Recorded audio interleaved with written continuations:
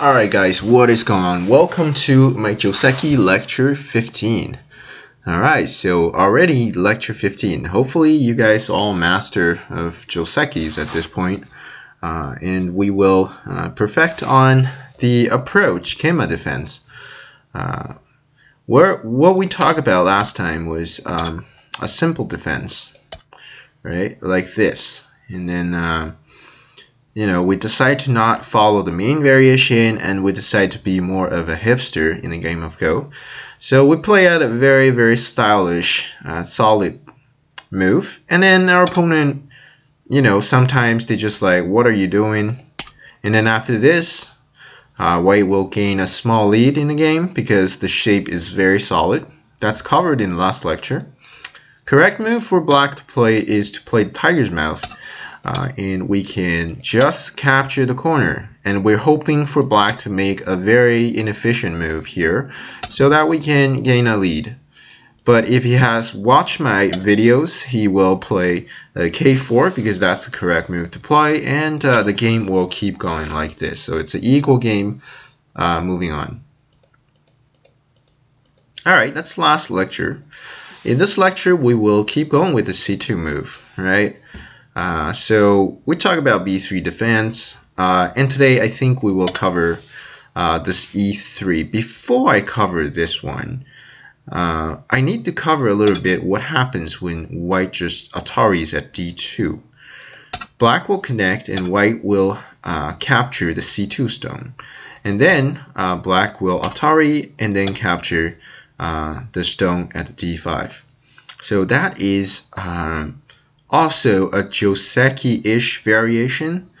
Um, so I don't really think anyone can criticize you for playing like this as white, but I just want to tell you that uh, your win rate would drop by 3 to 4% comparing to what you had uh, you know, at the very start. Um, for a human player, it's really hard to, to tell why your win rate would drop. Um, by 3 to 4%, uh, you can play like this uh, in your game uh, just to be very special, just to have your style, right? Like this is also playable for white. Uh, but remember, white's correct follow-up is to play d6. So that's how you end the Joseki. So black has obviously few choices. He can Tenuki. If he Tenukis, well, that's beyond my control. But if it decides to play the b4 by any chance, which is okay because the connection underneath is quite big, uh, white's correct move is to play a 3 space extension and setting up a trap for, uh, for black. So what is the trap? So if your opponent is pretty good with life and death, he will descend at c1. Uh, this will kill your corner or sort of attempt to kill your corner. Why does it kill your corner? Because check this. If white plays b1, black will hane here. You cannot play a2 because I can capture, so you have to take. Black will destroy your second eye. At this point, you'd be like, oh well, this is game over for me as white. Well, not really. You're actually having a huge advantage now because now you can uh, play the g2 you can hop out. Uh, and it turns out black already has fallen into a trap because as we get out, we also destroy the potential site that, that black has. Now black only has this group that is hanging there that is not alive. So let's check how black can um, can black struggle something out here.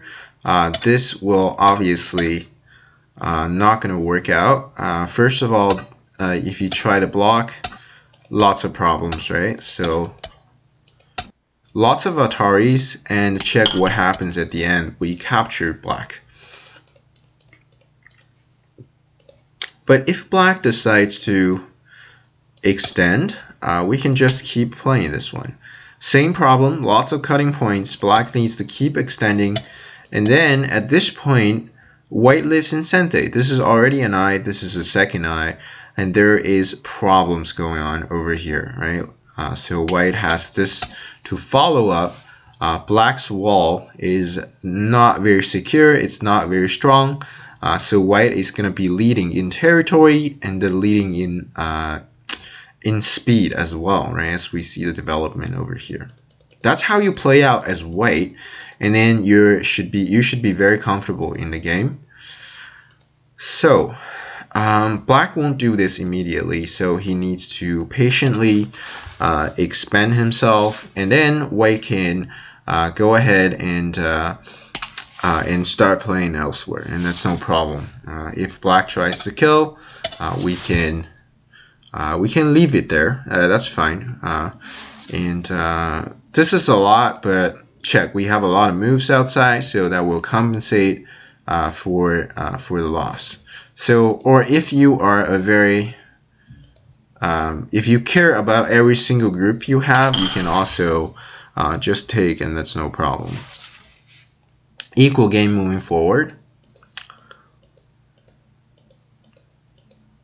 But just to warn you that your win rate would actually drop by a few percentage, which really does not matter uh, at our level. But today we're going to be introducing um, a very, I guess, a, a niche variation out of the main variation Right, usually you would connect here, but a lot of times you see player would extend down to E2. Right, this is looking for aggressive stuff. Black will cut here, and then white obviously has no time to connect right now. He needs to save the two stones. Uh, and uh, so first of all, let's analyze, right? Uh, what can black play here? It looks like we have a lot of weak stones. Let's say black tries to kill white uh, white will crawl and then black extends uh, white will connect here if you turn here uh, the corner is dead right? If black insists on fighting this white will push. Black needs to extend. Can block. Too many cutting points. We crawl once more. Still still it's really hard to do this because um, lots of problems. Whoops sorry. Um, black extends. All these are forced and then check this and then when you jump out uh, that's a classical um, way of netting something so can't block uh, this one also very dangerous, right? White will cut and extend. Lots of problems going on here. Needs to fix. Check. Your two stones going to be in trouble. So if you keep crawling, you probably need to crawl a lot of times, right? Like you need to uh, definitely crawl a, few times. Uh, and, uh, and, and honestly, this is just a difficult game, right? This is a big loss already uh, and you can't really uh, you can't really kill here because because uh, your corner has four liberties right so white can basically kill black in the corner and then this still needs to live so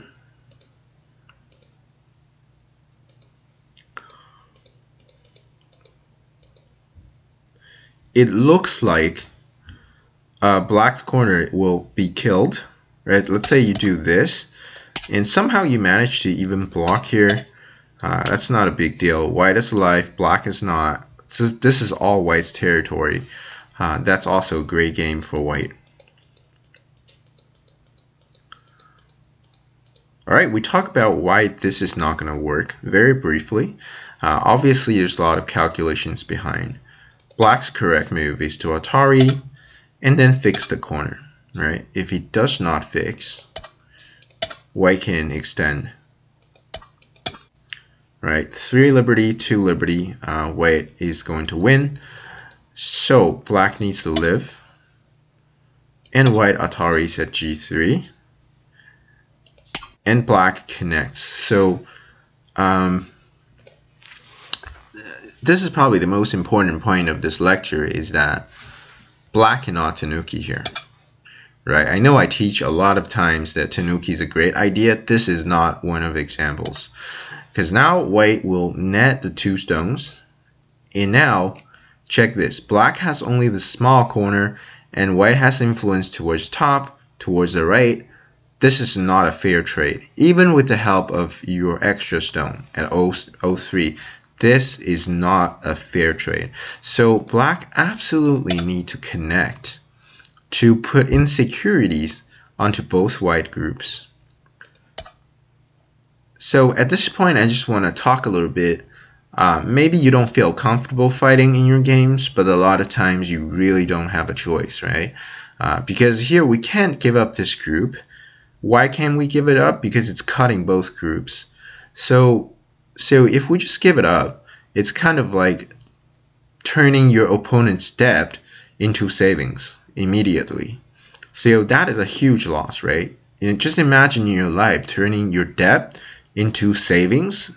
That's an excellent thing. You really want that. So you don't want your opponent to turn his debt into savings. So you absolutely have to drag these three stones out no matter how difficult it is uh, to create insecurities onto both groups. A lot of values in doing that. White will push and black will jump out. So this is the exact follow-up um, for both sides. Now, uh, white's correct move is to uh, actually jump out. Um, black will make the bamboo shape and then white will extend. So this is the accurate continuation. Um, and here as black you have a nice d8 move. When white attaches we can cap him. So then there's a lot of reading to, to do locally right at this point. Uh, I'm presenting the most accurate variations at this point. Uh, but the reading behind it uh, might be beyond your level, but don't worry. Uh, if you think it's really complicated, um, I think just memorize it uh, for now, and then uh, that's that's gonna be fine. So I'm gonna go slowly. So white will play, play the tiger's mouth, and of course, and of course we cannot block here, right? Because there's an Atari, so uh, we will extend. White will push here, and black will push here. Looks like black is in a very, very dangerous situation, but white cannot play the cut. If white cuts, black can Atari. Uh, so white is in trouble, right? Basically, if you play this one, I can capture the two stones. Um, so so what does what does uh so at this point if white tries to kill these three stones we can kill the two stones and then when white capture this uh black can uh, just secure everything so that's pretty much game over for white because this amount of territory is way too much right and also think about the outside black has more stones so that's not acceptable for white. That's game over for white. So white's correct move, here the reading is very important, is to wedge here first. Black cannot do this anymore, right? Because now we can Atari. When black takes, we can Atari from behind, and that's game over for black. So is this game over for black? Not really. Black has an excellent tiger's mouth. Um, letting white capture the three stones. And then black can play out a very nice move at n3 to limit any potential development that white has over here. So overall, black got this side, uh, get influence onto this side, a corner, and a very nice limiting move that expands his corner uh, and limit white. White looks very thick, looks like he has a beautiful shape, but what is this group really going to generate for white? We're not so sure about it. Right? It's not very clear uh, what white is going to gain uh, from this thick group. Because it's all limited, right? Everywhere it's limited by black. So that's uh, that's probably equal game moving on. Uh, that's that's the correct, very correct and accurate play by both sides. Uh, as black, you should play like this to reach an equal position. Alright, so that was a very fierce uh, fighting uh, variation. Um, Of course, if your opponent just plays something like this, we can comfortably jump right now. Uh, now we're aiming we're aiming at potentially pincer uh, white's group. If white plays this one, we can think about pincering white's group over here. So here we can see the value of making use of white's insecurity uh, and make play out of it.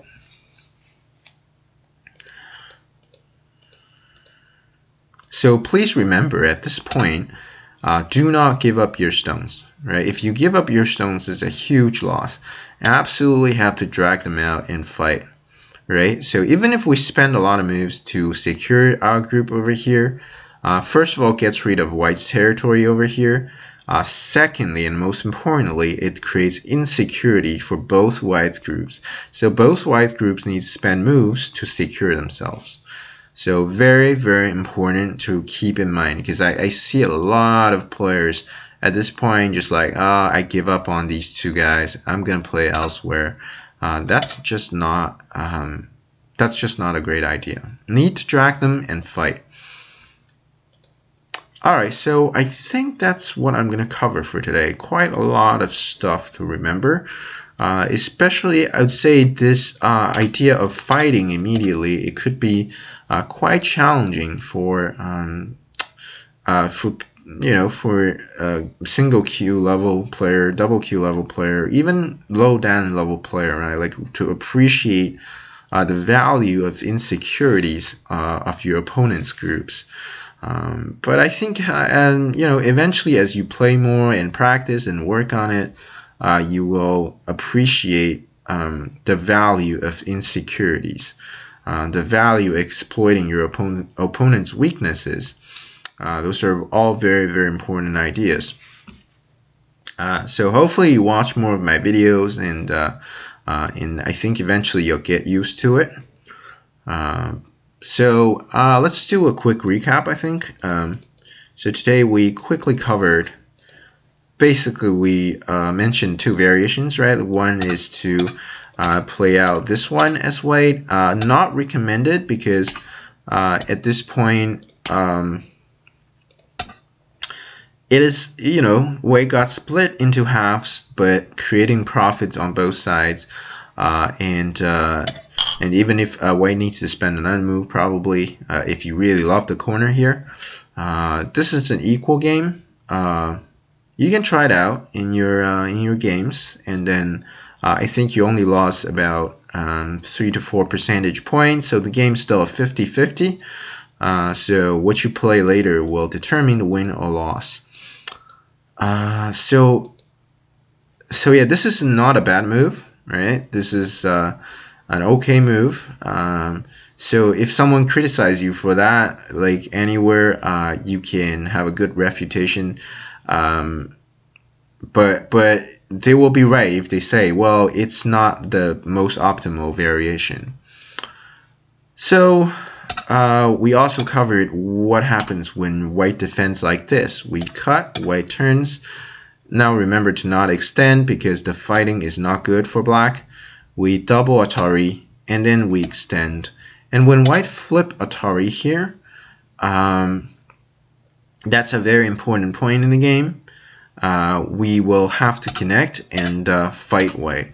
Uh, and let me just quickly repeat the main variation. At this point, black has a very pressure variation, right? Like if you play this one, it's not really exerting max pressure on the white. Um, so very important to ex uh, exercise most uh, pressure onto your opponent, right? Very aggressive. White will make the tiger's mouth. And then we push. And then here white will not cut right now because it doesn't work, right? At this point, uh, if we Atari, white Ataris, we already take the stones. So white will make an interesting order here. That's a correct move. Uh, and now we cannot connect anymore, so we make the tiger's mouth. White will capture the three stones.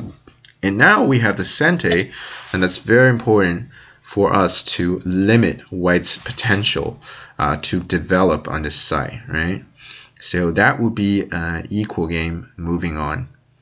Um, and I think I think this is uh, this is a great outcome for white uh, for, for, black uh, because um, because his win rate starts to um, starts to go up.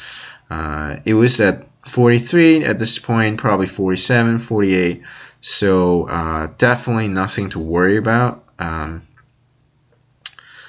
uh, as as black, this is very very playable position.